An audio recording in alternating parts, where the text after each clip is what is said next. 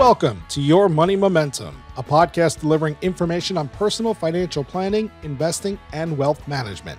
Hosted by global wealth advisors Tom Kennedy and Kevin M. Curley II, this show will feature market discussions, strategy, and practical advice aimed at building momentum with your money.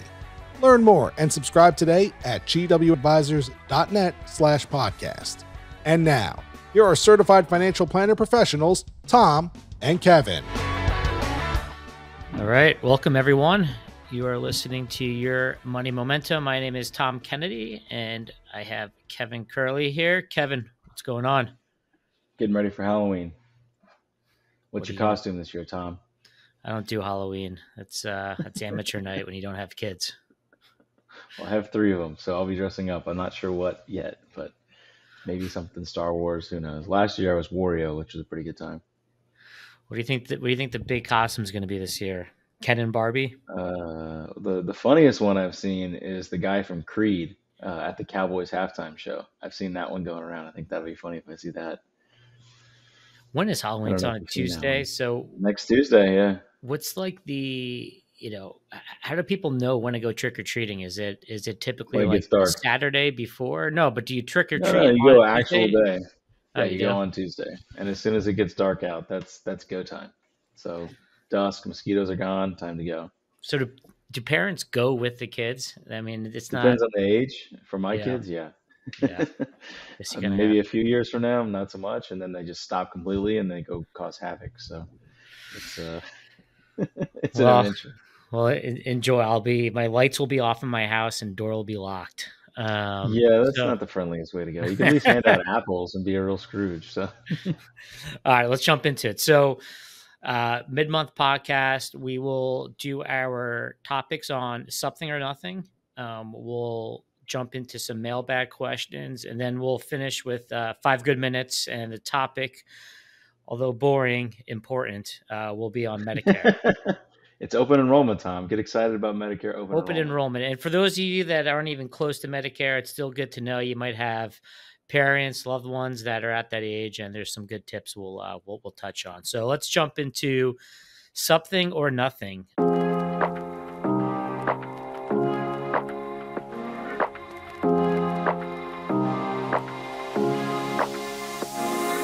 Uh, Kevin, I'll, I'll throw the first one to you.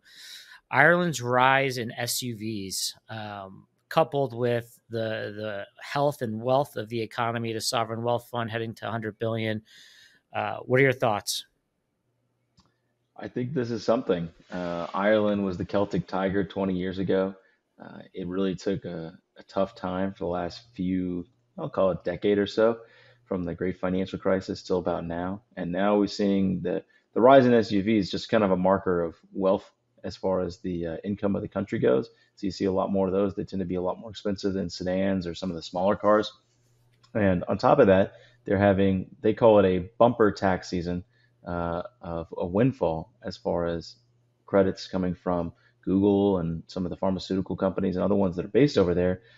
They're paying a lot in corporate taxes, and they're thinking about starting a sovereign wealth fund. It's predicted that a handful of years from now, that could be over 100 billion dollars uh, Ireland's on the rise, and I think this is something as the only English-speaking nation in the EU.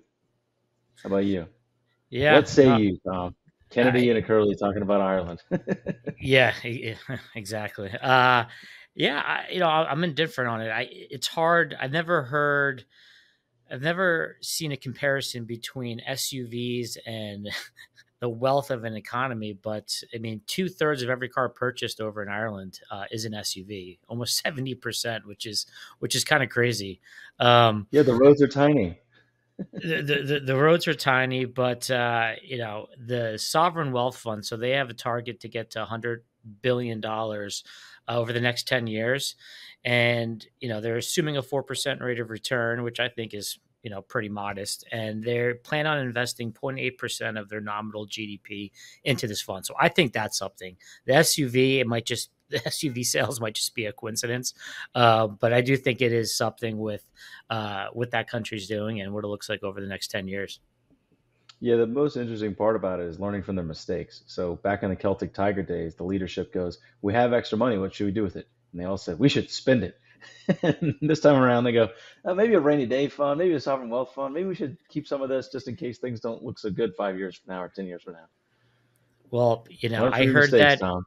Uh, you know, you could you could declare citizenship to Ireland if you can if you can go back. I think up to three generations, which I can't, unfortunately. But uh, it's a grandparent you, clause. I, you have to have a grandparent who was a citizen, and then I wish I wish the U.S. Unfortunately, would, for would those of us who've been here for a while, it's not available anymore. Yeah, it's it's unfortunate. We're stuck here in the U.S. That's another conversation. Hard knock life. All right, next topic, Tom. Uh, we've got a 23 year high in mortgage rates. They hit 7.57% on the 30 year fixed. Uh, the prior peak was 8.5%, which we hit in December of 2000. Uh, are these skyrocketing rates something or nothing? And will we break 8.5% in this cycle?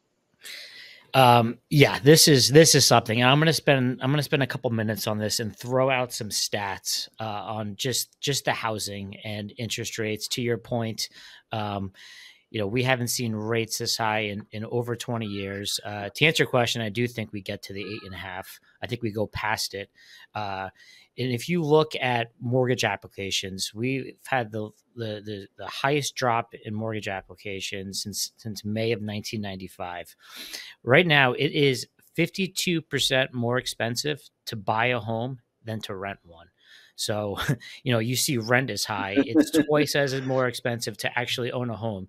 And if you look at who's buying homes, um, one, you know, anyone under 35, I just saw a stat online, which I thought was really interesting. I think it was a Redfin. If home buyers under 35 years of age, 23% of them used cash from a gift from a family member or inheritance money f- for a down payment. Um, 40% of buyers under 30 received family money for a down payment. So, you know, the younger generation doesn't have the money for these down payments and they're getting it from from their family members. And if you look yeah, at those high rates hurt. Eh, they, they they they they hurt. I mean, you need to make $115,000 more to afford the the uh, the medium home sale price of a, of a home right now versus what it was a year ago. And this is just because of the increase in rates. I mean, they they've doubled. So it's you know, we threw out that stat a couple a couple months ago with, you know, either rates go down, prices go down, or a combination. But right now, it's just extremely unaffordable for the for the housing market. Um, but the challenge is, is that there's not a lot of supply out there because no one's moving because they're not going to get out of their three percent mortgage to get into a seven and a half or eight percent mortgage. So, I think it's something. I think it's going to eventually have. It can. This is not sustainable. So the question becomes: what comes what comes down first? Interest rates or housing prices? Uh, and I think it's going to be housing prices. I, don't think rates are going to come down quick enough, and eventually you're going to have to see the the housing market come down. I don't think there's going to be a crash, but I think it will come down. Yeah, I think one big difference from like the 06 to 08 period is I don't think we have a ton of people in adjustable rate mortgages like we did before. And we're going to find out if those reforms for you know no lock no doc loans went away, uh, if that mattered. And if people can't refinance and they were anticipating being able to do that, this is going to be a tough time. And like you said, new buyers they're just they're not going to exist at eight and a half percent rates. So uh, one thing I think that we didn't talk about was the fact that quantitative easing, one of the things they did at the Federal Reserve was buy mortgage backed securities. It artificially kept rates lower than what they were. So those with two and three percent mortgage rates, great for them. But it might be a situation where the natural rate of interest goes back down to four or five for a mortgage, and you know seven eight is still considered high, but you know the amortization schedule on these is really ugly. A lot of these you never end up paying more in principal than uh, than interest. It just stays interest forever and never crosses that line as opposed to when it's 2 and 3%, you know, 8, 10, 15 years into the mortgage, suddenly you're paying more principal than you are interest. So high rates hurt and I think it's a long-term problem. Well, I, I, think I think to, and to your point, I agree. A lot of these aren't adjustable rates, so you're fine there. You're not going to have this 2008 crisis all over again. But I think the difference is, and I've had some pushback where, you know, you look at 25 years ago, people are, you know, that bought houses in the 80s are like, this is nothing. We had much higher interest rates back then, but the, the difference, yeah, but they were falling. the, well, well, well, not only that, but the difference was that the housing pricing was not even close to where it's at. You've had zero right. interest rates and cheap money for over 10 years that that housing has gone through the roof and that's the big difference this time around is housing is just way way too expensive the actual price of a house and now where interest rates are something's got to give and it, it, it, and it could be a combination where you see a drop in in both rates and the housing market but um you know mortgage applications have fallen through the floor um and a, another quick stat too uh, I think it was was it September. Um, bear with me a second. Uh, number of number of homeowners hit foreclosure notices in the third quarter jumped 34% from a year ago up to 125,000. So, you know, I think you're starting similar to see thing in autos too. Yep, similar thing in autos. Um, just last month, you had you had 25% of uh, offers fall through didn't go didn't go to contract. So I think it's starting it's starting to hit a little bit, but uh, time will tell. Yeah, I know. Right in the face of like what was the four and a half percent GDP number for the third quarter, and you go, "Oh, the world's falling off a cliff." I don't know, not yet, but well, G- GDP the, GDP was expected it's backwards at, looking. Yeah, yeah, yeah three and a half, and it was a point higher. It's wild. Yep. Um, all right, Tom, we got big news in the in the oil patch. I'm going to call it merger mania. Uh, Exxon announced they're going to buy Pioneer. Uh, Chevron announced they're going to buy Hess. There's been a, a, bunch of small caps merge as well, which, you know, I, there's too many to even mention. But what's going on in the oil patch? Is this merger mania something or nothing? You know, I it's it's something. It, it's always something when it comes to oil and gas. And but I'm, I'm just I hesitate because I'm not I'm also not not shocked either. I mean, one you have you have the the break even point uh, for profitability has gone way way down than what it was three or four years ago. I mean, you know, you talk to some of these some of these you hear some of these CEOs speak, and they're saying it's under forty dollars a barrel for them to break even, depending on where they are in the in, in the country. Offshore is a little more expensive, obviously, but you have areas like the Permian and Eagleford. Um, the Bakken, which are just much much lower. So technology has been been a driver of that. Um, you have the rig count is is down. It's actually the rig count has actually dropped nine months in a row. Uh, we're at 750 rigs. You know, you look at five years ago, we were double that. So I think consolidation is is natural right now. Um, you have technology that's improving, and you also have these these oil and gas companies that are just flush with cash, I mean, their their end product, um, oil, has has gone up drastically and it's stayed high. I mean, you're at ninety dollars a barrel. We've been there for quite some time, and if your break even is forty or fifty dollars a barrel, that's a lot of profit margin.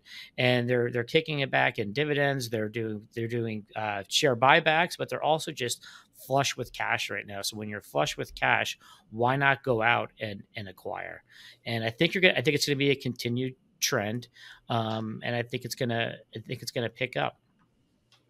Yeah, I, I agree. It is kind of something at the moment, but it really feels like nothing in the sense that it's business as usual. I feel yeah. like this story of bringing everything else back on shore and focusing on the Permian and the Bakken and other domestic production instead of going, you know, to the Middle East or to Africa or offshore in order to find oil. Uh, that's the real story. Is this 15-year theme of hey, fracking unlocked all this resource and we don't have to go to all these dangerous places. We don't have to mess around in scary countries anymore. Let's just do it here. And i think the big players as you said are flush with cash cash and they can do this kind of thing versus you know oftentimes especially in semiconductors we see the margins are real tight. And as they get tighter you see those mergers because they go ah we can cut some back off expenses and we can maintain our margins if we merge with another you know semiconductor.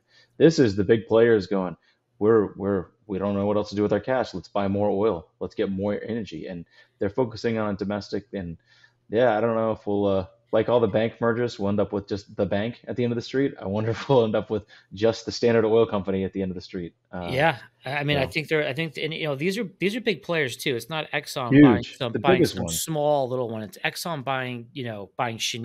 Mm-hmm. Um, it's you know, it's it's it's Chevron and Hess. I mean, these are these are big big players that are coming together. It's a market share grab, just like anything else, um, mm-hmm. and they're trying to diversify their their their portfolio from from doing everything from upstream, midstream, downstream to gas, natural gas, and you know I say it all the time. You know, at thirty three trillion dollars in debt that this country has, it's going to be very difficult um, to get out of it. Either def, you know inflate, default, or grow. And the way we can grow is by using the resources currently in our own backyards, and it's oil and gas. Um, so we got a lot. We got a lot. We got a lot there. So uh, well, let's move on to the next one. Um, the EU tackles deficits of 80% debt to GDP. The US is at 140% debt to GDP. Um, is this something or nothing? Oh, this is definitely something. Uh, and I'd take it a step further. Joe Biden introduced a bill where maybe we'll see her in, role play later. Janet Yellen was interviewed uh, by the Senate and just kind of cross examination about that. It was asking about the deficit. If $2.7 trillion, which will be the largest deficit and more than double than what it was last year for over 8% in a time where GDP is at the moment running above 3.5%. So I think this is definitely something you can't run fiscal deficits in good times at 7 8% without some major consequences. And you've seen that in the debt to GDP balloon to 140. When you want to compare other kind of OECD countries or the G7 or the G20, and you see especially Europe, which is our best peer comparison, at only 80% debt to GDP and having fiscal deficits of zero or 2%. They're run like states, not this country. This is a big problem. And I don't know where it plays out in the US dollar or if it plays out in treasuries. I mean, we've seen the treasury rates kind of skyrocket recently, but I think this is a big something that the EU is handling their business and the US is just kind of closing its eyes and going to say, we're going to just keep spending. There's no limits to our spending it's it's crazy. I mean, I know we talked about this last time, and the number's probably even higher. But I think it was we're at 900 billion year to date just in interest carry that that we just tacked onto our debt. I mean, as they raise rates, um, the cost of interest is just going higher and higher, and it's just ballooning on 33 trillion and counting. It's just a snowball effect. Uh, I, I agree. I mean, it we have to tackle this, and it's you know, Washington is a mess right now, and I, man, I am not hopeful. Uh, unfortunately, you know, we'll, we'll, we'll see what happens. But I I agree with you. It's what keeps me up at night is the debt. hundred percent. We can kick the can down the road just so long for so long until it's gonna come back and, and bite us big time. All right, for our last one, um, we go back to Europe. There is a car called the Microlino that's being rolled out. It is a tiny car, Tom you know those smart cars you used to see? It's about half the size of that. It looks, I don't know, like a go kart you're getting into that has walls. Uh, it has a max speed of 55 miles an hour. It only has a 143 mile range, and it looks just like the one from the Black Mirror episode with Dallas Howard, where she gets stuck and it stops working and can't get around anywhere. So, to me, I, I wonder the tiny car coming to Europe, the tiny car coming to U.S. Or are these tiny cars going to be something, or is this a big nothing? First of all, I have never heard of these. I had to Google it right before we jumped on this podcast. when, when, I, when They're ridiculous that. looking, right? Just just so our listeners can have a visual, it looks like something that Mr. Bean got out of. It's like one of those little tiny cars. I think it's absolutely nothing. Um, I mean, one, it's a it's a death wish. You get hit in that thing, it's gonna it's gonna crumple up like an accordion. Um, and I, I mean, look, we, we just said it on the on the front end of the call. I mean, look at Ireland. To every 70% of their car purchases are SUVs right now. I don't think people are going backwards into these ultra, ultra tiny cars. Um, I mean, at that point, at 55 miles an hour, 143 mile range is what you said. You're yeah. better off just getting a getting a scooter. Yeah, or a golf cart. golf cart. Or, yeah, yeah, I guess people might use this as a third car or an additional extra thing to just, oh, I got to go down the street, maybe something small, but I can't see it replacing somebody's primary vehicle. He's you can't go fast, you can't go far. Uh, I, I just there's no hope for this little guy. I mean, I could see like I could see a time where one, you know, a whole city just limited ca- to cars to just this, I'd be more comfortable yeah, with that. that makes sense. You know, all it takes is one of these liberal cities to say, okay, no more, no more gas, no more cars over a certain size. We're all going to go into these micro microlinos, and that's how you're going to get around. It's like, you know, an episode of the Jetsons. Yeah, maybe like the central business district, they say, "Hey, can't can't drive in there unless it's a tiny car." So, all right, uh, where do you want to go next, Tom? Let's go to uh let's go to mailbag. It's time to hear from listeners as we open the mailbag and answer your questions. So I've had a few I've had a few questions talking to clients as of late uh, about crypto, which um, hasn't you know hasn't really made headline all that much until recently with the the huge jump that we've seen in the last week with with the SEC approving new ETFs. Um, coincidentally, you have Sam Bankman Fried on trial as we speak right now for the whole FTX collapse. Uh, crypto or Bitcoin in particular is up year to date 107%. Uh, we actually just went off. Uh, well, also, you know, let me stop there. What what are your thoughts on, on crypto? Do you think this is just another another blip and it's going to come back down? Is it? I don't think it's a fad. I think we're we can all agree it's it's here to stay. Um, you have that the halvening the happening what's it called the, the, the happening event that's coming up expected uh, uh ne- early next year you know as far as clients go we can't invest in in cryptocurrencies but just in general there is a lot of a lot of money in the cryptocurrency space. You know that that's just facts. There's a ton of money there. There's a ton of money still going there. There's institutions behind it. Um it's a it's a risk on asset so when you start seeing an asset like crypto do well in an environment like we're in right now, you know, what is that saying? And I'll throw out a stat, you know, prior to this past week when the SEC announced and crypto went vertical, um, we went on the longest streak in the history of Bitcoin where we didn't see a 10% move in a given day. It's been extremely, how do I say this? It has not been as volatile as it typically has been. And in fact, if you look, I saw an interesting stat the other day you look from like mid September to mid October of this year, the 10 to 20 year bond index was more volatile than Bitcoin. Uh, I mean, whoever thought we'd see that, where you have bonds, treasuries, government backed bonds, more volatile than what we considered one of the most volatile asset classes ever, which was Bitcoin. Um, I thought that was was pretty interesting and worth worth mentioning. Yeah, I think that the uh, the rise in rates, especially long duration, you could end up with 25, 50% losses on some of those bond funds, which is really, really wild. But that's the reality. You take that 1% increase and it happens twice, and suddenly you're down a significant amount on bonds. So I think that that phase was something that people got a little bored during COVID, got excited about. I think that AI is where all the VC funding's going. I think robotics is where the VC funding's going. But I mean, this year, especially in the spring, April and May, you saw the excitement and the potential of AI. I've been waiting for crypto to show me something for what is it, five years now? How long has Bitcoin been around? It's been a while. Now, AI, I think that has some potential, but you know, I'll wait for Silicon Valley's next trick. You sound very bitter No, about it. I, I just, I've, I've seen people. It's the same thing with the meme stocks. I've had meetings with clients or prospects, and they, you know, it's almost like shameful. They come up, ah, you know, I got kind of wrapped up in that. How did it go? And they showed up, and they're down 99%, 100%.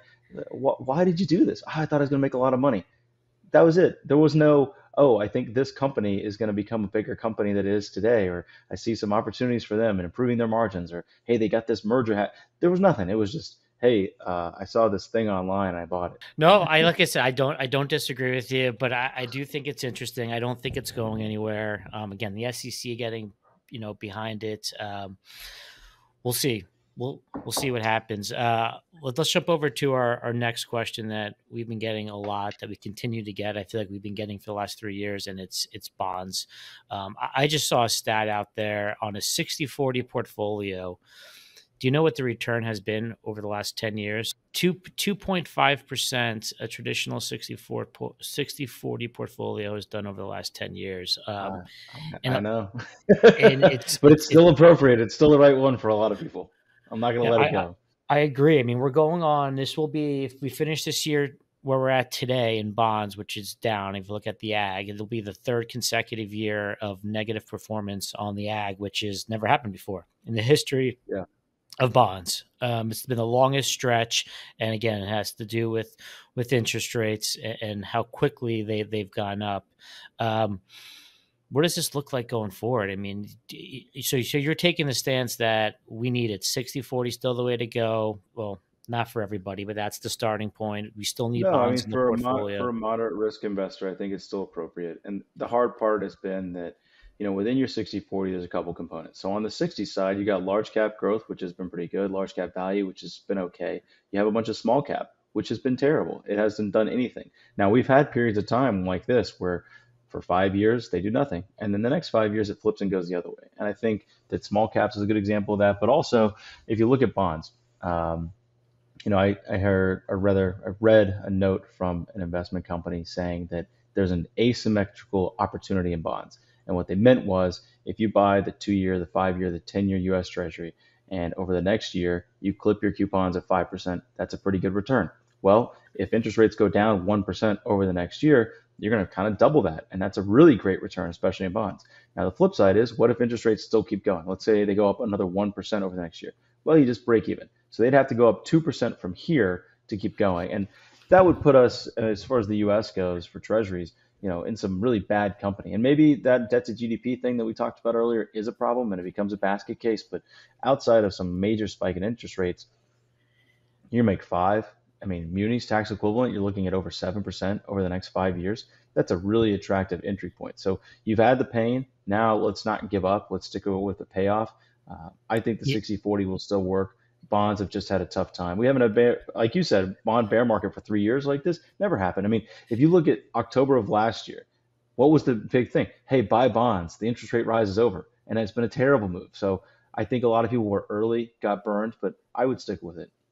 No, I, I agree, and and and it's not rising rates. Eh, people, I think this is a misconception. Rising rates is not bad for bonds. It's the velocity that they yeah. go up. So when you get these big jumps, it's it's there's nowhere to hide. And and the reverse is true too. Look at the taper tantrum going back to 2013. The last quarter of 2013, the the, the 10 year went from two and a half to three percent within three months. Bonds got hit. Everyone was calling for higher rates. That's it.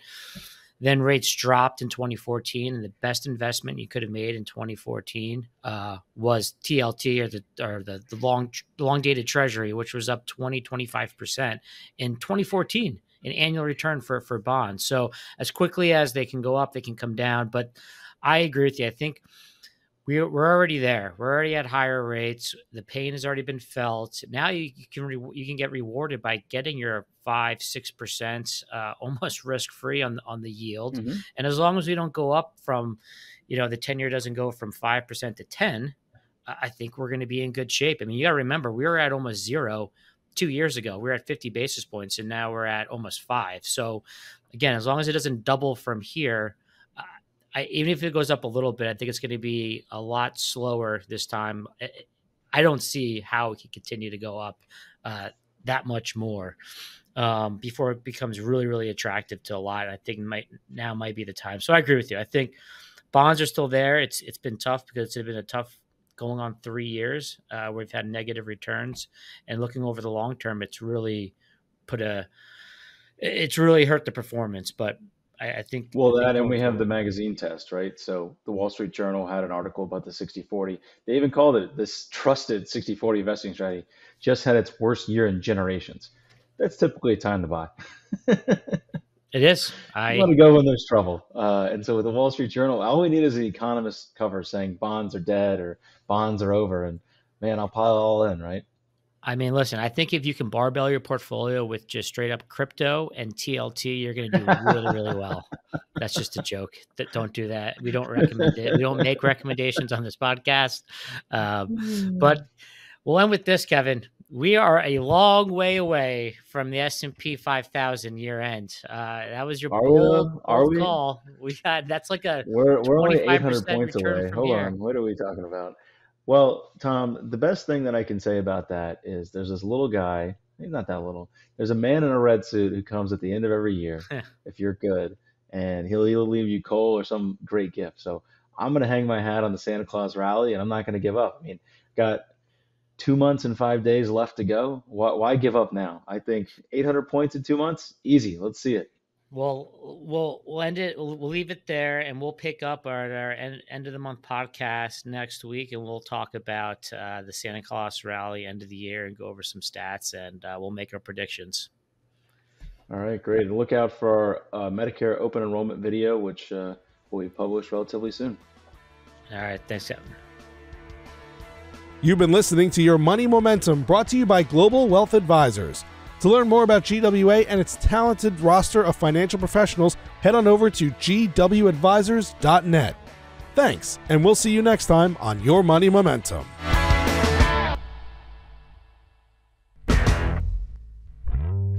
All indices are unmanaged and investors cannot invest directly into an index. Certain sections of this commentary contain forward looking statements that are based on reasonable expectations, estimates, projections, and assumptions. Forward looking statements are not guarantees of future performance and involve certain risks and uncertainties, which are difficult to predict. Past performance is not indicative of future results. Diversification does not assure profit or protect against loss in declining markets. This podcast is intended strictly for educational purposes only and is not a recommendation for or against cryptocurrency.